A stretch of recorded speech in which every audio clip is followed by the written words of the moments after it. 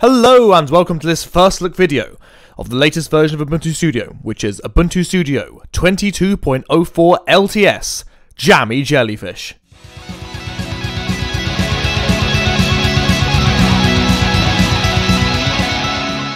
Now just some quick housekeeping to get out of the way before we start the review proper. Normally I do a, both a first look video and then normally about three or four months later I do a review of each version of Ubuntu Studio. However, I did not do a review for the last version, which was 21.10, as really the review videos didn't seem like they really made much sense. It reached a point where not a whole lot was changing, and it was basically just a short video of me saying, yes, it works. But one thing that I will say about the last version, just before we go into the first video here, is that about two months before the upgrade to the latest version, it did actually develop a bit of an issue, and was, this was an issue to do with audio, and actually an issue which initially I had on Windows 10, which actually caused me to switch from Windows to Linux as my primary operating system, and that was popping and crackling in the audio.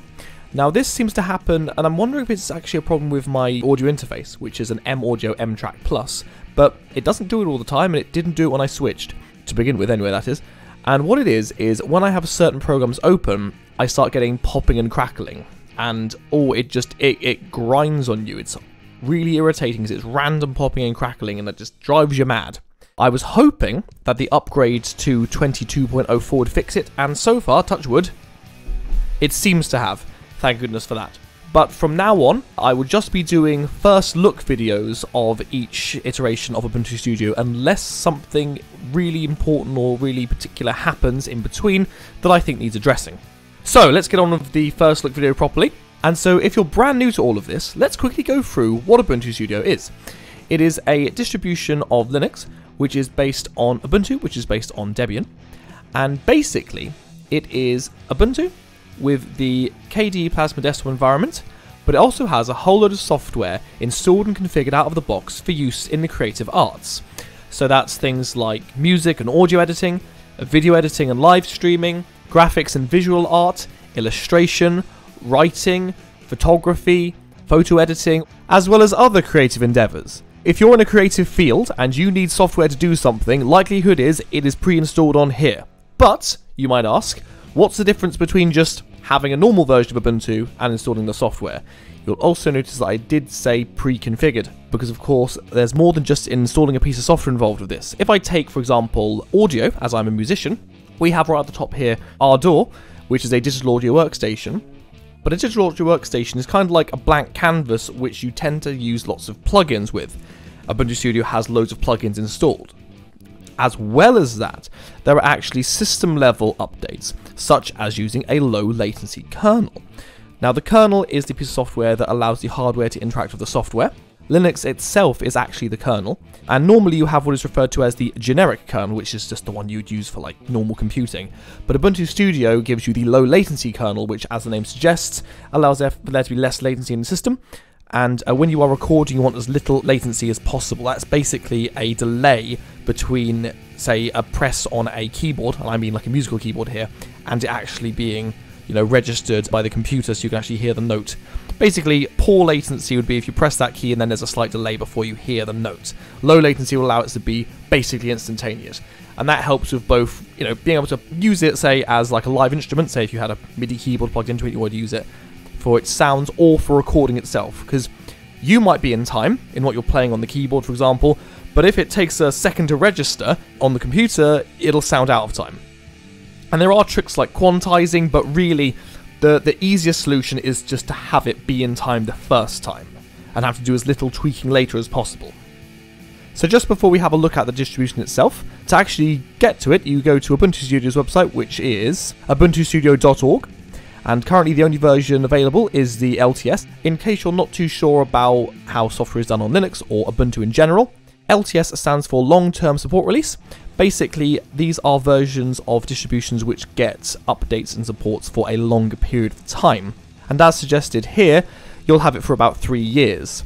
There are also uh, six monthly updates to Ubuntu, and I tend to favour those ones. So that'll be I want one that comes out in April of every year and one that comes out in October of every year. That those tend to be the ones I go for.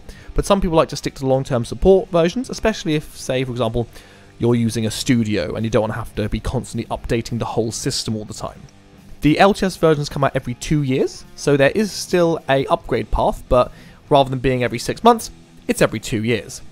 But you'll continue to get things like security updates and I think kernel patches up until at least April of 2025. So it gives you a good few years to go at it. So once on your website, if you just go to download, you'll obviously then be able to download it, and then you need to put it onto a USB stick and then plug it into the computer and install it from there. I will leave other videos to explain how to do that. But for now, we're going to have a look at the release notes for this version. So here are the release notes for the latest version where we have some information about upgrading to this version if you are coming from a, a previous version. And uh, something they do point out is they don't recommend upgrading from Ubuntu Studios 20.04, which is the previous LTS, and this is because it used a different desktop environment, XFCE, and it's really recommended that you don't upgrade that version to this version, you actually reinstall it instead. Uh, I tried doing an upgrade from, I think it was the XFC version of 20.10 to 21.04. I think that was one where they changed. And they warned me against doing that, and I did it anyway, and a load of things got quite broken. So I can I can verify that you probably do want to just burn it to USB and then reinstall it from there. However, I can verify that, at least in my case, an upgrade from 21.10 to 22.04 has been very smooth actually. So here are some highlighted changes from the previous release up to this version. We're actually going to go through and have a look at some of the pieces of software in a second, but here are things just to point out. Uh, Studio Controls has been updated to version 2.3.1. Uh, now, Studio Controls is a bit of a killer app for Ubuntu Studio. It's something developed by them originally, but I think they might have combined with another project at some point. And basically, it gives you a GUI, a graphical user interface, for really fine tuning a lot of the uh, inner workings of the audio on the system. Very, very useful if you are going to be using it for audio work. Um, and that is something that I believe it is available on other versions of Ubuntu, but that's something where really you come to Ubuntu Studio to have something like that pre installed and pre configured, ready to go, rather than just doing it yourself. You always can, but for the install and just go out of the box experience, Ubuntu Studio is really the one to go for if you're going to do doing a creative project. RaySession has been upgraded to version 0.12.2. Carla, which is a uh, suite of plugins, has been upgraded to version 2.4.2. Jack Mixer upgraded to 17, and the LSP plugins, another suite of plugins, have been upgraded to 1.1.31. Under graphic design, Krita has been upgraded to version 5.0.2. Darktable upgraded to version 3.8.1, Inkscape to 1.1.2, and digiKam to 7.5.0. And under video, OBS Studio, the thing I'm currently recording with right now, has been upgraded to 27.2.3, and that is the current version I'm actually recording with. And Kdenlive, the video editor I will be editing the video of this on, has been upgraded to 21.12.3. So quite a lot of upgrades going on in there, as well as bigger things such as a more recent update to KDE Plasma, for example, and all of the other KDE software that comes included in a typical Kubuntu installation will be on here as well. As well as that, a much more up-to-date version of the uh, Linux low latency kernel. And some other things of note is that it's now featuring a dark theme by default. Thank goodness for that. I'm, I'm a big fan of dark themes, not just because I like the look of them, but because it's just it's just far easier on the eyes. It's not you don't get blinded by your own computer screen. Support for REFIND, and just one more thing of note here is that if you want to have even more updated software on your system, especially if you want to keep the very stable base of the LTS, the long-term support version, but you'd like to have some of the uh, some of the features of the later versions, there is also the backports PPA. If you just add that PPA to your repository, then you'll just be able to get those updates as and when they come through. Now, just before we jump into all the packages that are installed in this version, we're going to have a quick look at the Ubuntu Studio installer. And this is a handy little program which you can run if you are using a version of Ubuntu which isn't Ubuntu Studio, but you would like to convert it into being Ubuntu Studio. Now, say for argument's sake you don't really want to use Plasma, this doesn't matter because I'm using Ubuntu Studio as a converted version of Xubuntu, so it's using the XFC desktop environment. So uh, what I did is I installed Xubuntu, then I installed the Ubuntu Studio installer, and uh, there were more things listed on here, and I just clicked all of them and then just installed. And that's what I've got on my main machine. And so that can convert any version of Ubuntu you already have into being Ubuntu Studio. And every time you upgrade, it also upgrades all those packages. This not only installs all the programs, but it also does then go on to pre-configure all of them to run as you'd expect them to in a full version of Ubuntu Studio. As well as that, it also changes over which version of the kernel you use to the low latency one as well, which is super, super handy. So without further ado, let's go through the desktop itself.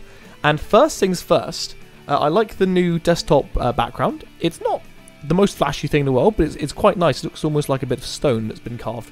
But something I want to point out in particular is this top bar up here. So, normally, all you'd have, apart from like the time and the volume and everything over there, all you'd have on the left side will be the application launcher button, uh, which, by the way, they have turned square as instead of being circle as because Ubuntu, mainline Ubuntu, changed its logo recently, Ubuntu Studio not wanting to be held back, as they of course are the artists Ubuntu, they didn't want to be behind the curves. They also updated their logo to suit. So that's why it's got that square look now rather than the circle look. Normally it would just be that, and then Firefox. However, in a move which I think is a really, really good idea, they have now put, and you can always change this if you like, but they have put a load of the main and most useful pieces of software that you might want to just install and then immediately run right on the top panel here. So we have Firefox, really good web browser obviously, probably you're already aware of that. We have the studio controls, which is that thing I mentioned before, which is multimedia controls. So basically, a tool where you can do some finite adjustments to your audio. Ardour, which is a free and open source digital audio workstation. That's what musicians use to record and mix and master audio. If you've never used it before, it's quite similar to Pro Tools actually. OBS, the Open Broadcasting Studio. It is screen recording and live streaming software. I use it for its screen recording capabilities. Krita, or Krita if you prefer, there's a little bit of an argument as to how it's pronounced, is a painting program. A lot of people will pick between this and the next one, which is GIMP, the GNU Image Manipulation Program. Both of these are basically like think of them as depending on your needs, they are either really complicated paint programs or they are equivalents to Photoshop. Out of the two, myself, I personally use GIMP and I use it to do graphic design. Uh, so I will use it as a replacement for something like Photoshop. Kdenlive, the KDE non-linear video editor. It is the video editor I personally use to make all my videos. digiKam, which is photo management software. This was really raved about in the last couple of releases, but it's not something I personally use. I don't tend to do much photography, hence why I also don't tend to use a whole lot of Darktable here, which is just like photo editing software.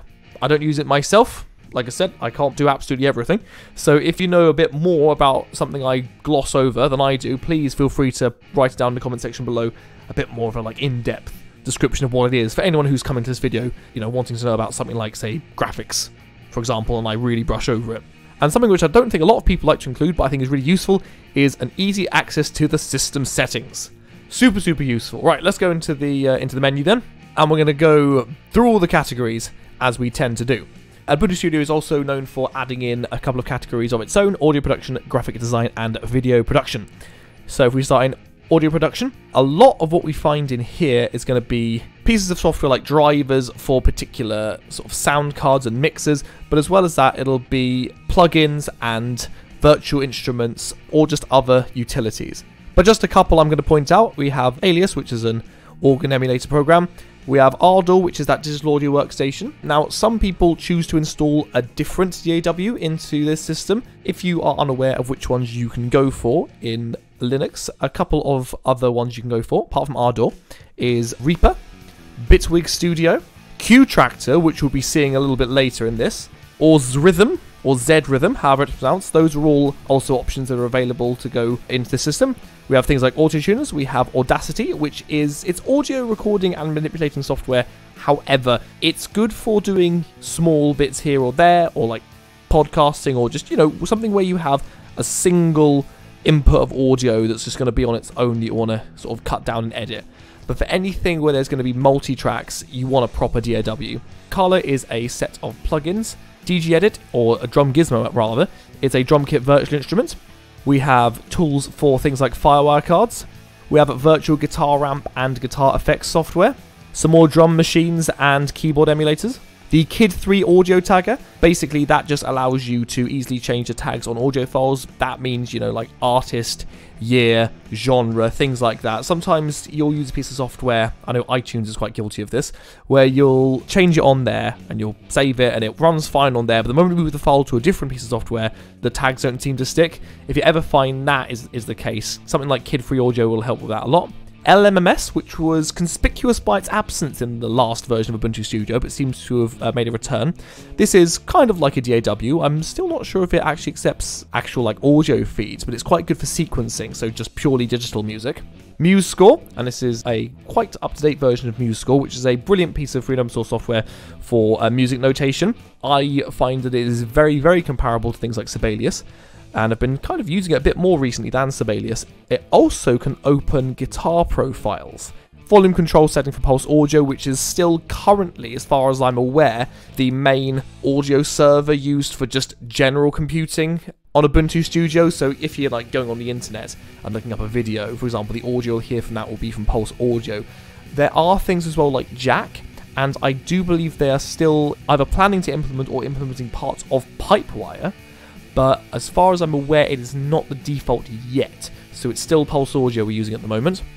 A whole load of software for managing things like uh, MIDI as well as Jack. Qtractor, which uh, I mentioned before, uh, puts itself down as a multi-track sequencer, but really it's another DAW. We have some more guitar processing software here. And of course, an audio suite wouldn't be complete without a load of synthesizers. Under graphic design, we have the aforementioned Darktable, digiKam, and GIMP. We also have some other really useful software such as Inkscape, which is a vector graphics editing. Uh, vector graphics are basically graphics which can be made larger and made smaller without reducing the image quality. Because you know if you ever take a picture, like a JPEG, and you zoom in, it becomes all a pixelated mess. The idea of vector graphics is as you increase the size of that, the quality remains the same. It's very, very useful for things like logos. K-Color Chooser, really, really useful piece of software. You just, basically, wherever the cursor is pointing on the screen, it'll tell you the exact color code. So you can use this in conjunction with things like GIMP if you need to find a particular color. And the last thing I want to bring out from the graphic design part is Okular. Quite simply, the best PDF software you could ever use, way better than the software Adobe hands out. And under video editing, the only things worth pointing out, other than Kdenlive and OBS, which we've already spoken about, is Blender. And uh, Blender is a 3D modeler, so you can either use it to create like you know 3D images. I don't believe it's quite capable of things like CAD design. It's more for things like animation. Uh, because it is also a video editor. If, say, you imagine yourself being the next DreamWorks or the next Pixar, you can have a crack at doing that in something like Blender. And under internet we have Firefox, which is the best browser. Right, editing Adam here. Something I quickly need to bring up is the fact there's been a lot of controversy going around the fact that Firefox has now been changed to being a snap package rather than a deb package, and this is indeed the case. When I first booted it on my own system, the very, very first time, it was upsettingly slow. And it was a bit of a dampener because I've used things like Brave before through Snap and it takes ages to boot. However, uh, every subsequent boot, including after I've shut the computer off and then on again, which normally resets Snap and then you have to like, you know, reload the cache.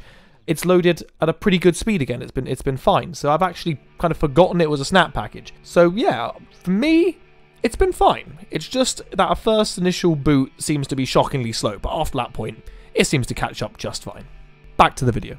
Thunderbird Mail, which is a good mail client. We have an IRC client, and then we have KDE Connect. I don't personally use KDE Connect, but basically it's meant to give you a similar experience to what the Apple ecosystem is supposed to be, that whole marketing thing Apple do, where basically things like clipboards can be shared between your phone and your computer, and you can access certain files easily just through this app.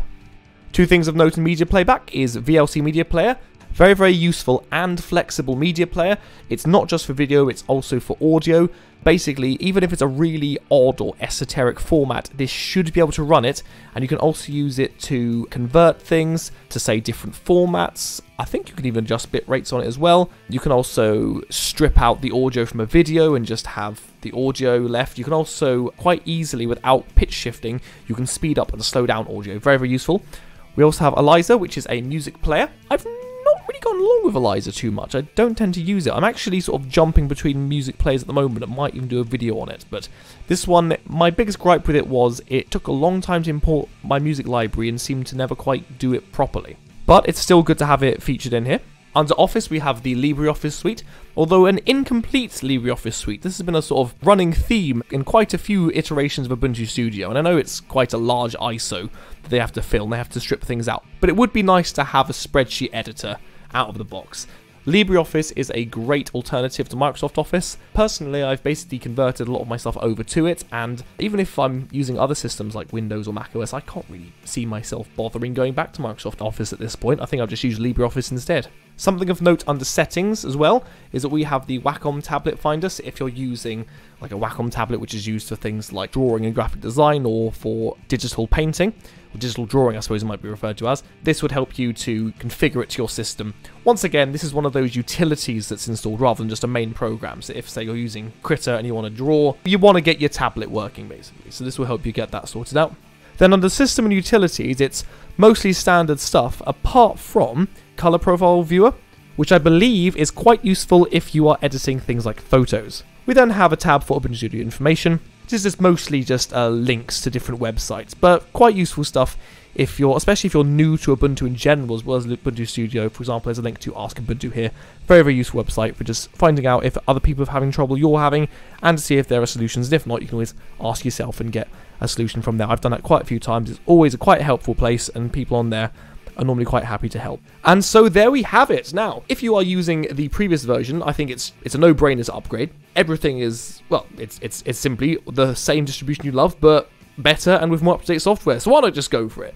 If you've never really used it before and you're a bit apprehensive, something you can try is to do it on a virtual machine. In fact, this system you're seeing here is on a virtual machine. I'm using VirtualBox for that as my main system that I have this on is so customized that it doesn't really look like the out of the box experience, and I've removed a lot of software I don't use. Whereas this is a very default experience you're looking at here.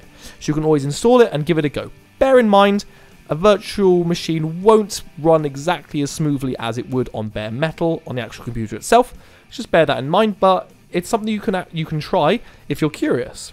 It was Ubuntu Studio itself that actually made it so that I switched from doing Windows about 75% of the time and Linux about 25% of the time to that being flipped, so Linux being my primary system. Just despite the reputation Linux had, this actually gave me basically everything I wanted, but with a bit less of a headache than I was having before in Windows. So, if you have any questions about the system, feel free to ask me down below. If I don't know, then you can always find Ubuntu Studio on websites like Facebook and Mastodon. I think they have a Twitter as well. If not as well, there's also always Ask Ubuntu where you can ask a question on there. And uh, yeah, I hope you enjoyed this video. And if you did, please consider liking, sharing, and subscribing. And I shall see you in the next video. Goodbye.